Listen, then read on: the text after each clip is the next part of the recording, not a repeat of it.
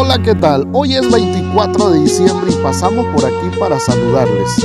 Desearles una feliz Navidad y un próspero año 2021 son nuestros más sinceros deseos de parte de Ricardo Bonilla, Katia Lorena Pití, Rubén Darío Concepción, Raquel Gómez y Iván Saldaña. Todo el staff de De Fiesta con mi acordeón, emisora virtual y programación de Fiesta con mi acordeón, le deseamos que tengamos mucha salud sobre todo para poder continuar en este año 2022. Para todos, ¡Feliz, Navidad.